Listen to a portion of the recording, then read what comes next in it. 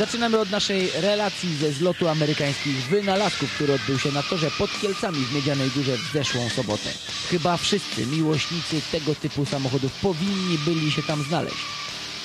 To, co się tam działo, przekraczało wyobrażenia wielu zlotowiczów.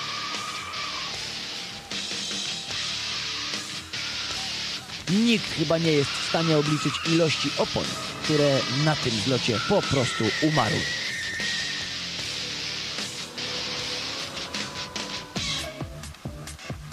Na zlocie oprócz wyścigów, tradycyjnych wyścigów na 1 czwartą mili, można było pooglądać najpiękniejsze amerykańskie samochody. Starą korwetę serii C3, Caprice Classic w oryginalnym policyjnym wydaniu.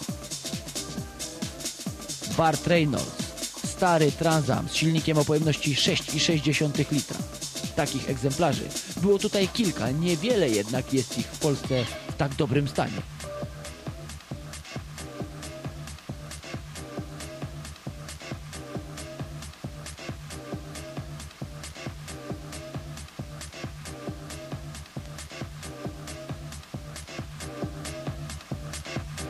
Niektórzy malowali swoje samochody pędzelkami. Tutaj artysta wypowiedział się aerografem.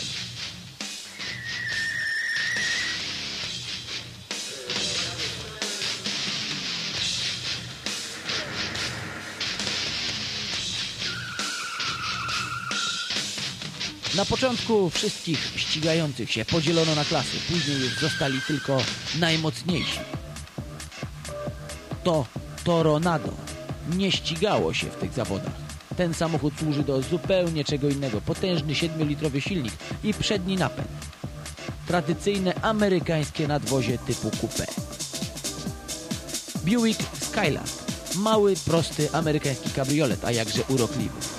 I najstarsza chyba, najstarsza znana mi korweta w Polsce.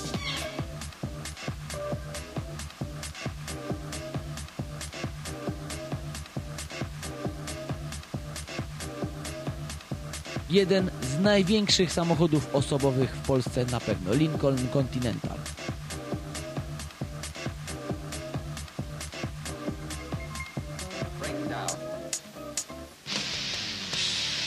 A tymczasem w wyścigach wyłaniano kolejnych faworytów.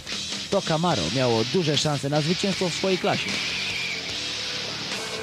Wszyscy byli ciekawi, jak skończą się pojedynki Corvette i Vipera. Niepokonaną okazała się korweta Z06 z silnikiem przekraczającym 390 koni mechanicznych mocy. Ci, którym nie powiodło się w wyścigach, mogli przynajmniej popisać się efektownymi bączkami. Jeden z dwóch ładnych Mustangów na zlocie. Czerwone Cabrio i czerwony hardtop. Obok Buick LeSabre.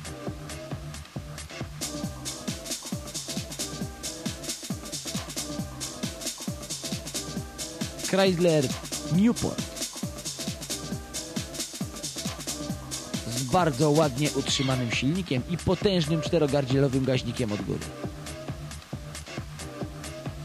Samochód, który od 68 roku nie był ani razu malowany. Przejechał od tamtej pory tylko 40 tysięcy mil. Chevrolet Biscayne w jednych rękach od początku.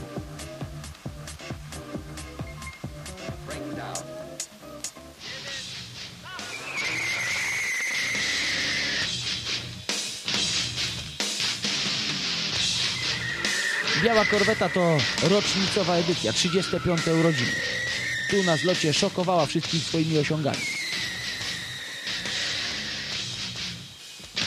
Tylko czerwona Z06 była w stanie jej dorównać.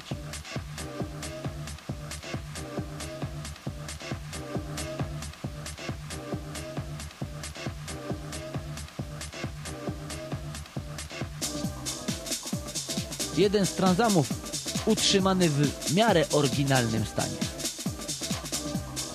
I największe kombi na całym zlocie Pontiac Catalina.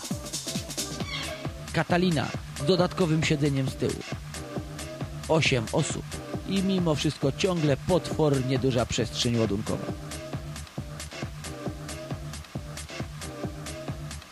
Koniec lat 60. Korweta z silnikiem, który oryginalnie posiadał 427 cali sześciennych mocy.